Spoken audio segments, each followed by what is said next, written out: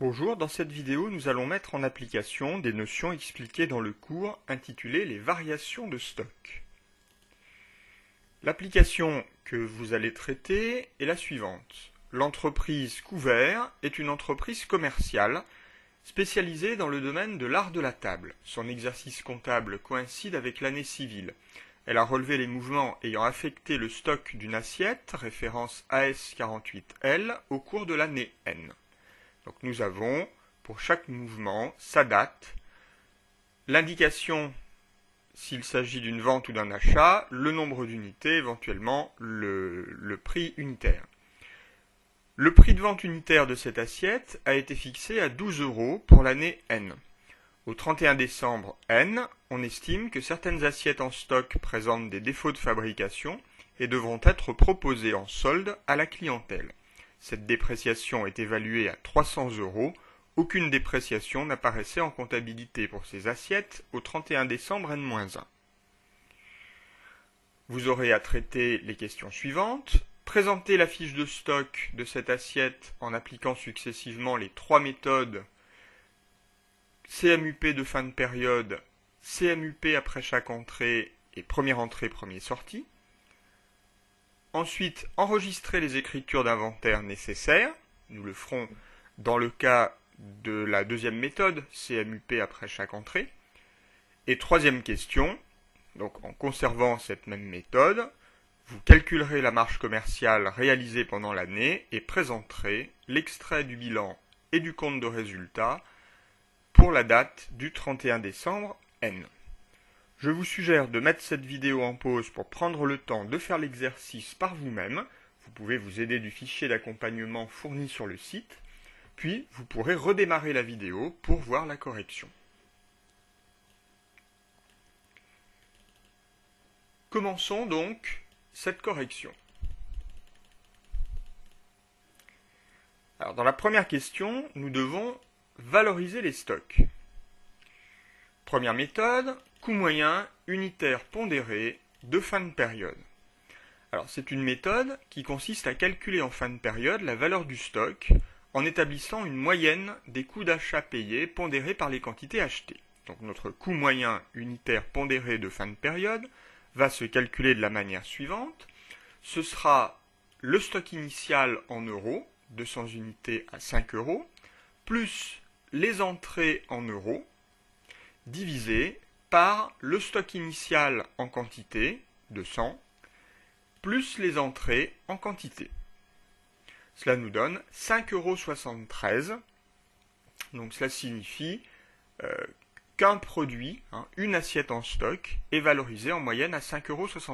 Il nous faut multiplier ça par les quantités restantes en stock en fin d'année. Ces quantités, nous les trouvons de la manière suivante. C'est le stock initial plus les entrées moins les sorties donc 200 de stock initial, plus eh bien, les trois euh, quantités correspondant aux trois achats du 1er juin, 15 août et 15 novembre, moins les sorties, c'est-à-dire les trois ventes du 15 mars, 15 septembre et 15 décembre. Donc il nous reste 200 unités en stock en fin d'année. Par conséquent, notre stock final en euros est égal à 5,73 euros multiplié par 200 unités, c'est-à-dire 1146 euros. Nous pouvons éventuellement formaliser cette méthode en établissant une fiche de stock de la manière suivante. Nous valoriserons les sorties ainsi que les prix unitaires des stocks au coût moyen unitaire pondéré que nous venons de calculer je vous laisse vérifier le contenu de cette fiche de stock. Dans la deuxième méthode, nous devons utiliser le coût moyen unitaire pondéré après chaque entrée. Notre tableau va se présenter de la manière suivante. Alors, nous recopions évidemment le 1er janvier le stock initial qui nous était fourni, 200 unités à 5 euros pièce. Le 15 mars, nous sortons 50 unités, que nous valorisons donc forcément à 5 euros pièce. Le 1er juin, nous entrons en stock 150 unités à 5,40 euros pièce. Nous allons donc devoir recalculer notre coût moyen unitaire pondéré. Pour ce faire, nous calculons tout d'abord les quantités en stock, qui sont égales aux 150 unités possédées préalablement, plus les 150 unités que nous venons d'acheter, donc 300. Nous calculons ensuite le montant total de nos stocks, c'est-à-dire 750 plus 810. Enfin, nous recalculons notre coût moyen unitaire pondéré en divisant le montant total, 1560, par les quantités en stock, 300. Cela nous donne 5,20 euros. Le 15 août, l'opération est identique puisqu'il y a une nouvelle entrée à 6,15 euros et cette fois-ci, nous avons un coût moyen unitaire pondéré de 5,40 euros. Alors on peut vérifier chaque fois que notre coût moyen unitaire pondéré est bien dans le bon intervalle. Ici, il doit être entre 5,20 euros et 6,15 euros. Ce qui est le cas, puisqu'on a 5,40 euros. Bon, nous procédons de la même manière pour la suite de notre fiche de stock que je vous laisse donc vérifier par vous-même.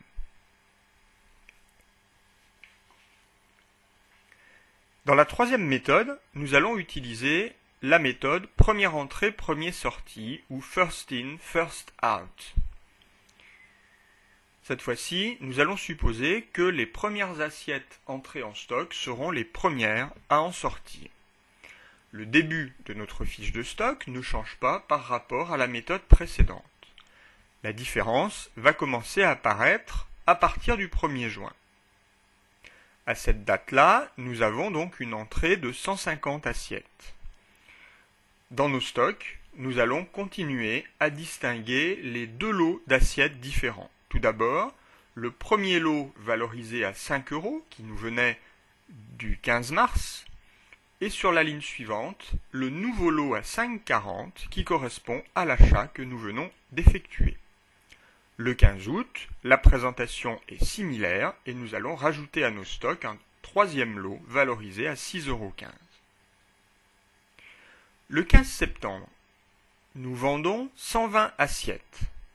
Ces 120 assiettes qui sortent de nos stocks vont être puisées dans le premier lot, donc valorisées à 5 euros.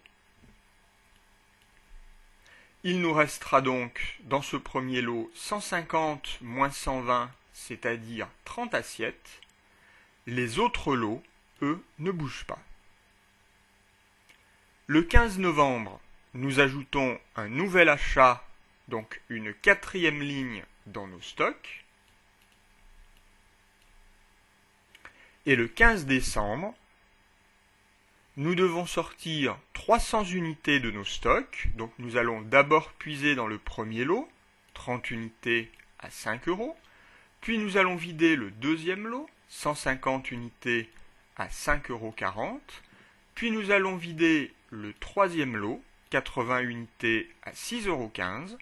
Et pour compléter et avoir nos 300 unités, nous allons prendre 40 unités dans le dernier lot à 6,40 euros. Par conséquent, il ne nous restera plus à la fin de l'année que 200 unités du dernier lot valorisées à 6,40 euros, soit un stock valorisé à 1280 euros.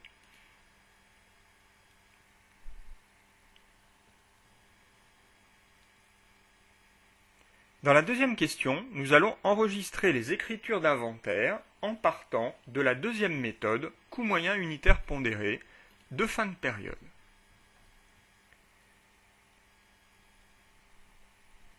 coût, pardon, coût moyen unitaire pondéré après chaque entrée.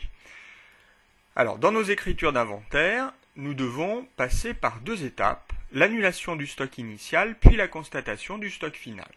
Notre stock initial était de 1000 euros, par conséquent, nous allons enregistrer l'écriture suivante. Compte 6037 au débit, variation des stocks de marchandises, 1000 euros. Compte 37 au crédit, stock de marchandises, pour 1000 euros. Il s'agit bien de marchandises puisqu'il était dit que l'entreprise était une entreprise commerciale. Pour la constatation du stock final, l'écriture sera inverse. nous allons débiter le compte 37 et créditer le compte 6037.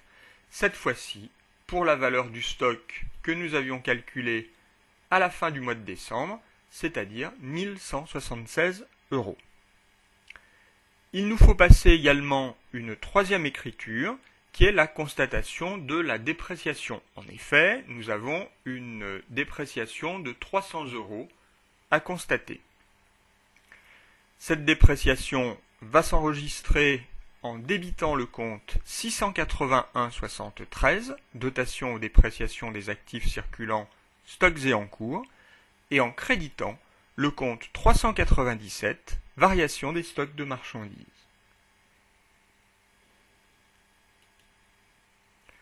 Troisième question.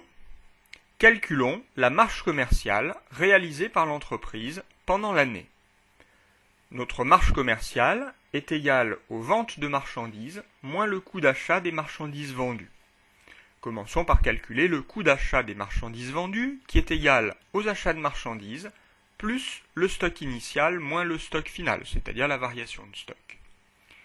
Nos achats de marchandises, nous les retrouvons dans notre tableau, donc ici même. Le stock initial était de 1000, le stock final de 1176, ce qui nous donne un coût d'achat des marchandises vendues de 2662 euros, somme que l'on pouvait d'ailleurs retrouver directement ici en observant le total des sorties. Deuxième étape, nous calculons la marge commerciale, vente de marchandises moins coût d'achat des marchandises vendues. 470 assiettes vendues ont été vendues 12 euros et notre coût d'achat des marchandises vendues a été calculé euh, dans le calcul précédent.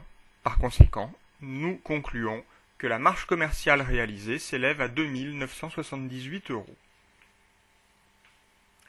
Enfin, nous devons présenter les extraits du compte de résultat et du bilan à la date du 31 décembre. Eh bien, dans le compte de résultat, sur la ligne achat de marchandises, nous allons retrouver 2838 euros qui est la somme des trois achats que nous avons effectués pendant l'année. Sur la ligne variation des stocks de marchandises, nous allons retrouver le stock initial moins le stock final donc moins 176.